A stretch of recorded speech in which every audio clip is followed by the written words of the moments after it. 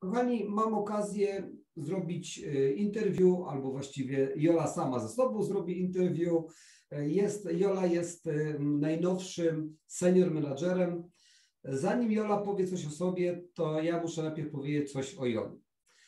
Pamiętam, gdy po raz pierwszy Jolę poznałem, mm, no miała podejście do marketingu jak wszyscy.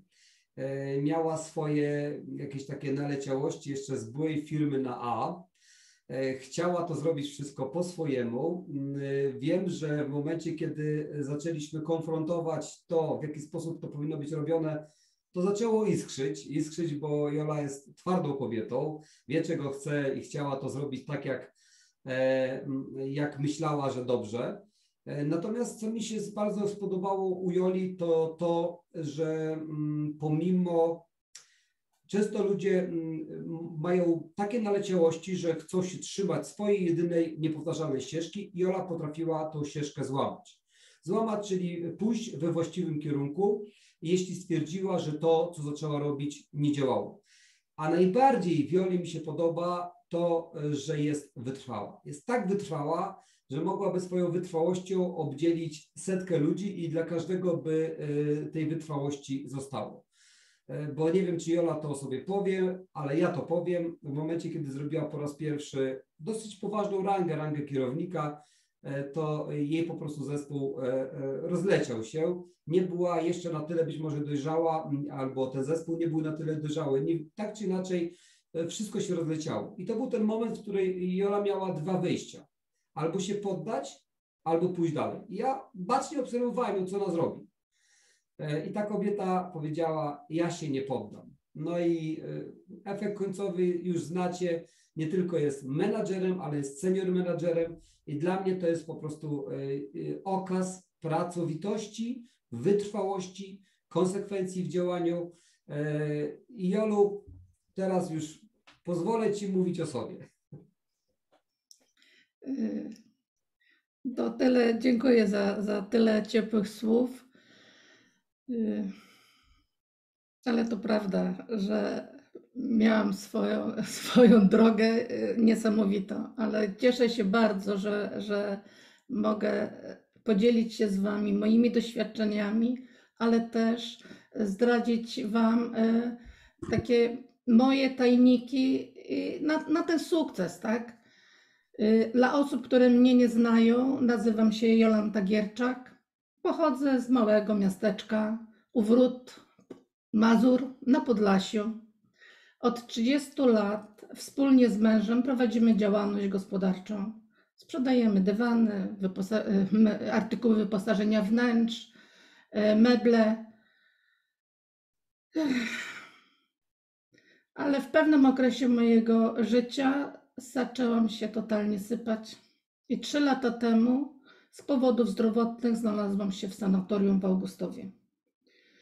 I tam była pogadanka prowadzona przez dwóch fizjoterapeutów. E, młodzi mężczyźni nazywali się obaj Kamil, takie mieli imię. I oni prowadzili mm, pogadankę czysto i wyłącznie pod kątem zdrowotnym. Temat był, od czego zależy nasze zdrowie i jak skutecznie i naturalnie zregenerować swój organizm. Ja w tamtym okresie byłam jedną wielką babą z miną skwaszoną, obolała, bo praktycznie każdy krok to, to było tylko stęknięcie. Tak dokuczały mi ostrogi piętowe. A przy tym e, od ponad e, 10 lat już chorowałam na Hashimoto i byłam tak, tak zatrzymywała się w moim organizmie woda. Ja byłam jedną naprawdę wielką babą że ja dzisiaj się śmieję, że moje nogi to wyglądały jak wałki. Na nich trudno było zauważyć kostkę czy, czy zgrabnie wciętą łydkę.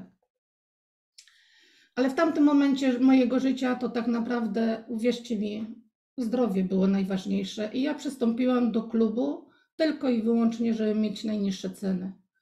Kupiłam mnóstwo produktów, bo było to blisko, y, jeżeli idzie o wartość punktową, to było blisko 1000 punktów. Ale po co to kupiłam? Żeby jak najszybciej przestało mnie boleć, bo ja wiem, że jak człowieka coś boli, to zrobi wszystko, żeby uniknąć bólu.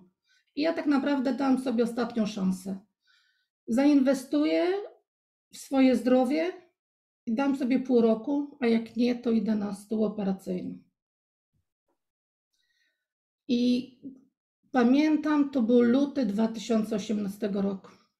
Gdy zaczęłam używać produkty, ja już po dwóch tygodniach zauważyłam niesamowitą różnicę.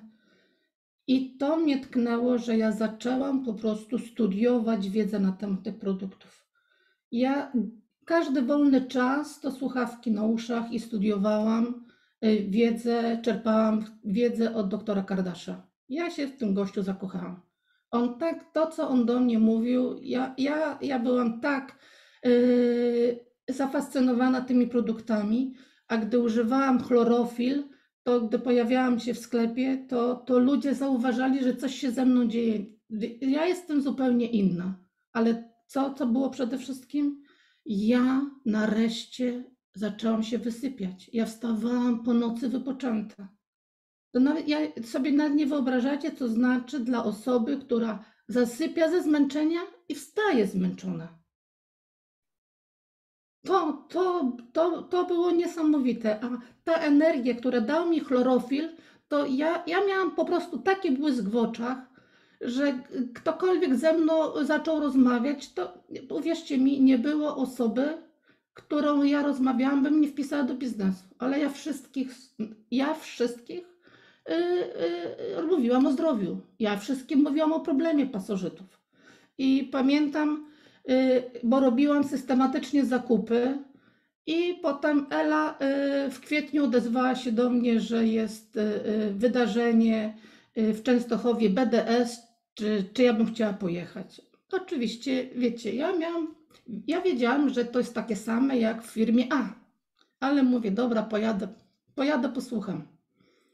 I ja pojechałam i i akurat był taki czas, że jakieś były plany, coś było z systemem zmieniane, że ja miałam szansę, że mimo to było trzy miesiące, byłam w firmie, bo to był kwiecień, a ja miałam ostatni moment, że mogę zrobić pierwszy awans złotego lidera grupy, który my mamy te 30 dni.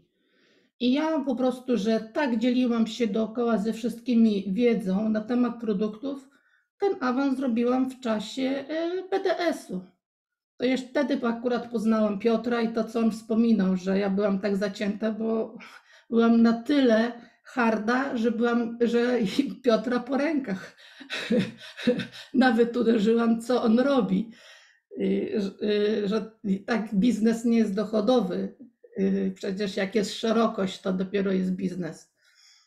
I pamiętam jedną rzecz, którą, którą e, bardzo e, mnie zaimponował Piotr, bo on dał mi swoją wizytówkę wtedy i mówi do mnie tak, pamiętaj, jeżeli mój telefon będzie zajęty, zapamiętaj, ja zawsze oddzwonię. I wiecie co? On nigdy tego nie on żadnego telefonu mojego nie zignorował. Ja wiedziałam, że jeżeli on mnie nie, nie może, to, to, to jeżeli nie odzwania, to nie może, ale on zawsze, zawsze dotrzymał słowa. I tutaj mam dla Ciebie pierwszą przestrogę, jest, jeżeli jesteś na początku drogi. Ja wiem, że każdy się w tych produktach zakochuje, bo one są niesamowite, ale nie idź tą drogą. Nie idź drogą produktów. Ja pamiętam, jak Piotr mi tłumaczył, że przestań ludzi uzdrawiać, bo każda osoba, która wejdzie do biznesu dla zdrowia, ona się nie zaangażuje. Ona poużywa produktów, poczuje się lepiej i może nawet przestać kupować. I ty będziesz ciągle pracować, ciągle pracować. A ja nie mogąc przetłumaczyć, no przecież w biznesie musi być obrót, musi być produkt. No co on mówi? Ja pamiętam, że nawet zrobiliśmy pierwsze spotkanie w Kolnie no to ja wystawiłam bazę produktów, żeby o produktach opowiadać. Piotr się na to spojrzał, no zrobiłaś, tak zrobiłaś. Ale mówi, co, co w ten sposób promujesz, że chcesz ludziom sprzedawać produkty, bo taką sobie wystawiasz opinię? I to jest błąd. Nie, nie, trudno mi było nawet zrozumieć ten system prokonsumencki kupuj u siebie, ale przecież mówię, trzeba robić obrót. ale uwierzcie mi, obrót robimy w swoim własnym biznesie, dla siebie i dzielimy się ideą. I pamiętam, wiecie co? To była wiosna 2019 roku. Piotr przyjechał do Łomży, żeby poprowadzić spotkanie. A on mi tak często dawał na spotkaniach, no ja czułam się, że on mnie cały czas bodzie. Bo Ja go zaprosiłam na spotkanie, na obiad, żeby w końcu on mi dał święty spokój, czego on ode mnie chce. Ja mówię, no jak ja mówię, mogę prowadzić y, z ludźmi rozmowę na temat biznesu, jak ja zarabiam 1000 złotych. I wtedy to był mój pierwszy zimny prysznic. Piotr do mnie mówi, tak, 1000 złotych? A mówi, a jak ty byś poprowadziła spotkanie, gdybyś miała półtorej miliona długu, żonę i syna na utrzymanie? A ty narzekasz, że ty zarabiasz 1000 złotych? Ty jesteś szczęśliwa. I wiecie co? Ja wtedy, wtedy poczułam się normalnie jak ofiara. Normalnie ciągle tylko biadoliłam, narzekałam i się usprawiedliwiałam. I ciągle mi coś nie pasowało. Kolejny taki punkt zwrotny u mnie to był w Polichnie. Akurat to była taka sytuacja, że, że y, był rejs menedżerski. Tam były ciągle jakieś zmiany i w którymś momencie było tak, że kierownik mógł zaprosić osoby. I pamiętam, przyszłam do Piotra, Piotr mówi, męża możesz zaprosić, bo on wiedział, że mój mąż mnie ściąga, ściąga do dołu, podcina mi skrzydła. No ja mówię, no dobra, wezmę go. Pojechaliśmy na ten rejs menedżerski i uwierzcie mi, to ja czułam się na tym rejsie normalnie jak dyrektor. Tam czas spędzony y, z Tomaszem zabawą. Nie było czegoś takiego, że, że to jest jakaś pozycja. Siedzieliśmy wszyscy na równi. Siedział z nami przecież y, i Norbert Janeczek i, i, i, no, i przecież oni jechali nawet autobusem z ludźmi do Włoch. Y, I tutaj nabrałam przekonania, że ja chcę w tym towarzystwie przebywać. I takiego naprawdę stylu życia pragnę. Ale trzecim, naprawdę takim bardzo decydującym u mnie, y, tym punktem zwrotnym, bo to było w ten czas, co mi się ta niby struktura, wiecie, posypała, to był, było szkolenie. W styczniu, to był styczeń 2020 roku. Pierwsze szkolenie na temat poziomów wartości Gravesa i ich analiza. I to, ten, ten, to, to praktycznie odmieniło, odmieniło cały bieg, bo ja wtedy z Marcinem Laskowskim, obecnym teraz senior menadżerem, myśmy stworzyli taki team. My normalnie nie było y, dnia, żebyśmy nie rozmawiali. Konsultowaliśmy się, co możemy zrobić, y, żeby po prostu pobudzić ludzi. I zaczęli jakoś po prostu, stwarz- po prostu pojawiać się nowe osoby, ale to były naprawdę działania, działanie, tylko działanie działa. I to była konkretna robota. I, i my, gdy byli, byli ludzie, my tworzyliśmy, spotkaliśmy się na Zoomie. Y, y, y, Dzieliliśmy się informacją, czego nie wiesz, czego nie rozumiesz, co ci pomóc. Uczyliśmy się, sami uczyliśmy Zooma. Normalnie Zoom teraz dla mnie, przedtem to był strach. O Jezu, co, co to za Zoom? Jak to uruchomić? A dzisiaj jestem zakochana w tym narzędziu. Tym, tym narzędziem zaczęliśmy uczyć każdą jedną osobę, jak się nim posługiwać, jak używać tego wszystkiego. Zaczęliśmy wdrażać BHS-a. I gdy pojawił się pierwszy lockdown i na 100% wszyscy musieliśmy ruszyć z, y, z działaniami BHS, a potem wyzwani 90 dni, to pozwoliło naszym liderom rozwinąć skrzydła. Normalnie niektórzy awansowali nawet o dwie pozycje wyżej, ale co my robiliśmy z Marcinem? Docenialiśmy ludzi, dawaliśmy im przestrzeń, żeby poprowadzili spotkania, uczyliśmy jeden drugiego. Ja pamiętam, jak, jak robiliśmy spotkania i te spotkania przygotowywała się osoba i jeden drugiego. teraz doszło do tego, że po prostu osoby już mają swoje teamy, prowadzą spotkania i wzięli odpowiedzialność na swoje ręce. W 2020 roku, w ciężkim roku, osiągnęłam awans menadżera, ale systematyczna praca. Nie, pamiętam, że zawsze Piotr mówił: Jesteś na fali, nie zatrzymuj się, działaj dalej, działaj dalej. I przede wszystkim słuchajcie tak. Praca, praca przez Zoomę, pokazywanie prostoty idei. Bo ja wiem, że jak my prowadziliśmy te spotkania, uczyliśmy prezentacji, to było trudne dla wielu osób. Trudne, przeżywały stres i, i zaczęliśmy uczyć w ten sposób. Po co masz narzędzie? Pokaż, jakie to jest proste. Jeżeli ktoś wchodzi z tobą do współpracy, przecież on na drugi dzień potrafi zrobić kopiuj wklej. Potrafi pochwalić się, jaką, jakie ma proste narzędzie. Moja strona internetowa. I, I uwierzcie mi, że ja w ten sposób robię. Robię w ten sposób, ale robię to teraz wolniej. Nie idę na ilość, bo ja wiecie, jak się rozszaleję, jak jestem podekscytowana, to ja tysiąc osób mogę y, y, obskoczyć, ale przeanalizowałam wszystko. Mówię nie, wolniej, ale lepiej. I kiedyś się buntowałam, czemu ten Piotr naciska na 1000 punktów. Przecież najtaniej, żeby osoba weszła na 250. Bo nie potrafiłam ludziom wytłumaczyć, dlaczego jest tak ważny właściwy start. Ale gdy w narzędziu BHS 24 mamy pierwszy i drugi krok, gdy ja za każdym razem z nową osobą, ja nie wysyłam jej filmiku. Ja skończyłam coś takiego robić że ja wyślę filmik i potem będę, a obejrzałeś, a kiedy możesz obejrzeć? Nie. Ja jak się z kimś umawiam, jak ta osoba chce ze mną się spotkać na kawę wirtualną, to ja jej włączam ideę firmy. Ja jej się pytam wtedy, co jest dla ciebie najważniejsze? Finanse, zdrowie, rozwój osobisty? Ale już ja mam przygotowane wszystko w zanadrzu. Finanse, to rozmawiamy o kasie. Zdrowie, to od czego zależy nasze zdrowie. Ale każdą jedną rozmowę kończę krokiem pierwszym i krokiem drugim. I to nie jest tak, że puszczę film, tylko razem, stop. Rozumiesz to? A wiesz, dlaczego to jest takie ważne? A zobacz, czy my się różnimy. A zobacz, a widzisz ten power leg? A zobacz, a zobacz, jak tu możesz skorzystać. A wiesz dlaczego? Słuchaj, możesz wystartować na 250. Możesz i na 500 ale jak ja ci pokażę pełen obraz, to podejmiesz najlepszą decyzję sam dla siebie. Ale nigdy nie powiesz mi, że ty nie dostałeś ode mnie pełnej oferty.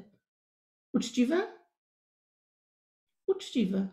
I uwierzcie mi, ja nie mam innych. Jeżeli ja w ten sposób przedstawiam informacje, ja nie mam innych. Inaczej osoby nie wchodzą. Jest tysiąc, tysiąc, tysiąc. Jak zaczęłam pracować zgodnie z systemem. I teraz pewnie ciekawi Cię, jak reaguje na nie.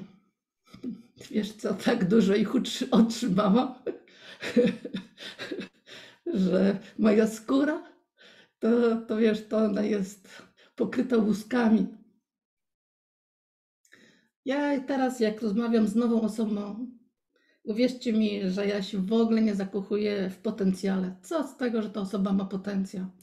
Ja, ja dla mnie osoba, która dużo mówi, to nic nie znaczy. Ty pokaż to, co robisz, bo to dużo głośniej słychać. I najważniejsza zasada, którą mogę Wam poradzić, to jest zrób sobie plan 5-10 osób, przeanalizuj to, skonsultuj, wdroż i doświadczaj znowu. Analiza i ciągle to samo.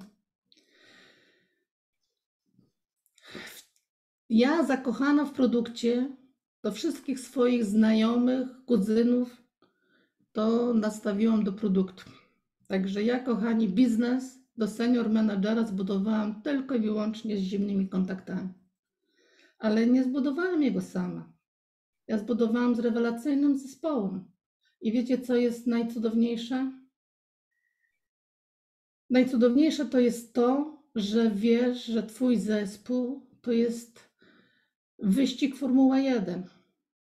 gdzie dzwoni do ciebie lider i mówi: Słuchaj, ja zmierzam do menadżera, to już teraz pewnie będziesz senior menadżerem. Gdy dzwoni do ciebie liderka i mówi: Słuchaj, co jeszcze mamy zrobić, bo ile ci jeszcze brakuje? Wiecie co? To dla takich chwil to chce się robić wszystko i nawet pamiętam, y, jedna z koleżanek mówiła, że 14 godzin pracuje. Ja powiem wam, że były takie okresy, że chyba i po 16 pracowałam. Bo jeżeli trzeba było, to nie było, nie było, nie było, że nie. Chcesz, proszę bardzo. I ja w tym biznesie jestem 100% na 200%, bo moja córka czasami mówi, mamo, ty non-stop siedzisz dół. Ja mówię, tak, córka, siedzę. Siedzę, bo ludzie mi potrzebują, ale ja też inwestuję w siebie. Bo jeżeli ja czytam książkę, to ja inwestuję w siebie, a nie pracuję dla duo. Ja pracuję dla siebie. I powiem Wam, że chcę Wam zasugerować tę książkę. Słuchaj. Potęga komunikacji. Wiecie co, że ta książka mi pokazała, jak ja często przeszkadzałam Piotrowi. Jest. Nauczyłam się, że jeżeli z kimś rozmawiam, to przede wszystkim daję szansę tej osobie się wypowiedzieć, żeby ona mówiła jak najwięcej, ale ja wiem, jeżeli ja prowadzę rozmowę, jeżeli ja sprawdzę, wejdę na profil tej osoby, jeżeli ja, ja widzę, czym ona się zajmuje, ja zawsze sobie robię notatkę, żeby ona wiedziała, że jestem tą osobą zainteresowaną. Ale też jestem w procesie, że ja na, nie ma dnia, żeby ja osoby nie dostała. Nie, nie, nie po prostu jako nowych kontaktów nie wprowadzałam. Jestem na różnych grupach i zapraszam ludzi.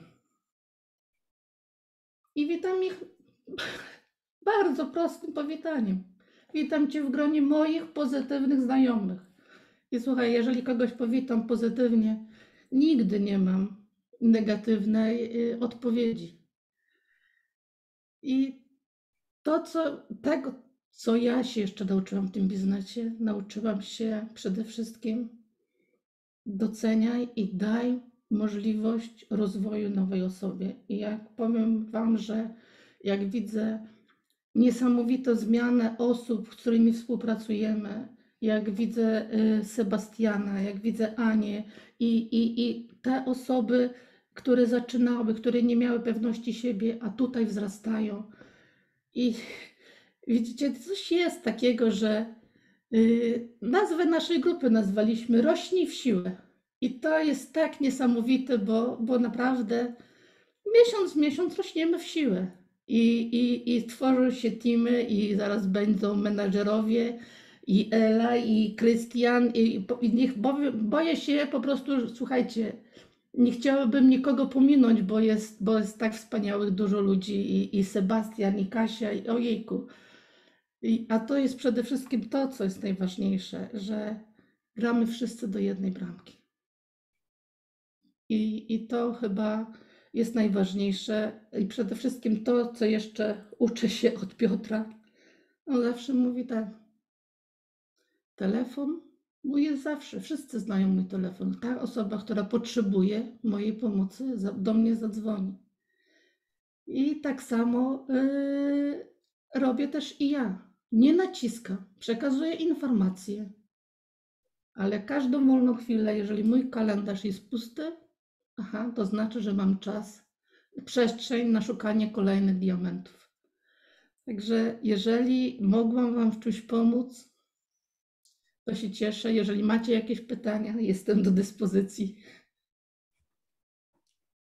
Jolu, no dziękuję, naprawdę to było mega, mega inspirujące. Z drugiej strony jestem aż mi głupio, bo, bo tak słyszę ile rzeczy ode mnie aż przysiągłaś mną. I teraz nie wiem, czy to dobre jest, czy to złe, ale można powiedzieć, czas pokaże. Słuchajcie, czy macie jakieś pytania do, do Joli? Ja myślę, że te osoby, które długo Jolę znają, to widzą potężną zmianę, jaka się u Joli zrobiła. E, I to w zaledwie, można powiedzieć, rok, półtora, bo, bo tam prawdziwa metamorfoza faktycznie chyba była od momentu, kiedy zaczęliśmy pracować i na Grejcie i kiedy Jola, słuchajcie, e, to był ten moment, w którym przestała być ofiarą. Ona po prostu przejęła odpowiedzialność za własne życie. Tak? I ja życzę Wam każdego, Każde, e, każdemu z Was życzę tego momentu, kto, o którym Jola mówiła, bo ja w swoim życiu 15, no, no, 12 lat temu, właściwie 10 lat temu też taki był moment przełomowy, powiedziałem koniec, zero narzekania, wszystko co się dzieje wokół mnie i to, to Jola powiedziała właśnie, to jest właśnie budowanie tej takiej mm, twardości, decyzyjności e, i, e, no i koniec narzekania. Czasami się jeszcze zdarzy, ale to już w pozytywnym znaczeniu, na zasadzie, co możemy z tym zrobić lepiej. To jest bardzo fajne. Jolu, jeszcze raz wielkie, wielkie gratulacje za to, co zrobiłaś, za to, kim się stałaś, za to, jak pracujesz i myślę, że jesteś dla wielu, wielu ludzi, którzy Cię znają, prawdziwą inspiracją. Wielkie, wielkie gratulacje. Dziękuję, jeżeli mogłam Wam pomóc, to trzymam kciuki za Wasze sukcesy. Trzymam kciuki za Twój sukces dalej. Dziękuję. Dziękuję.